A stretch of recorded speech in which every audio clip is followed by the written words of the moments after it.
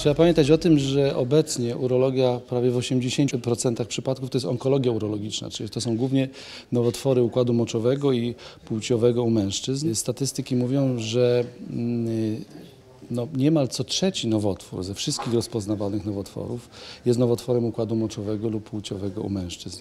E, To są nowotwory e, nerek, e, moczowodów, pęcherza moczowego, prostaty, jądra u mężczyzn. Te- Tych nowotworów jest bardzo dużo. To jest istotą naszej, e, naszego spotkania, przekazaniem myśli e, i wiedzy o chorobach nowotworowych, które we wczesnym stadium nie dają żadnych objawów. Stąd też trzeba chodzić do lekarza, zanim te objawy wystąpią. Oczywiście dobrze jest pójść do urologa, jeśli zauważymy jakiekolwiek zmiany w rytmie oddawania moczu. Nie mam najmniejszej wątpliwości, opierając się na doświadczeniach pochodzących z poprzednich edycji, że Festiwal Kulturo, czyli mowa o urologii, o zdrowym trybie życia, o systematycznych badaniach, ratuje życie spośród populacji, która zgłosiła się do nas na badania. U kilkunastu osób wykryliśmy zmiany o potencjale urologicznym na podstawie testów wykonanych zupełnie z innych przyczyn.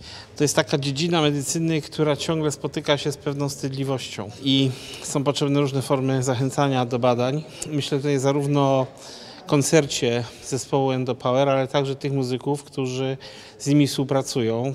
Rzecz unikalna Endopower to przecież zespół stworzony przez samych urologów, świetnie grający.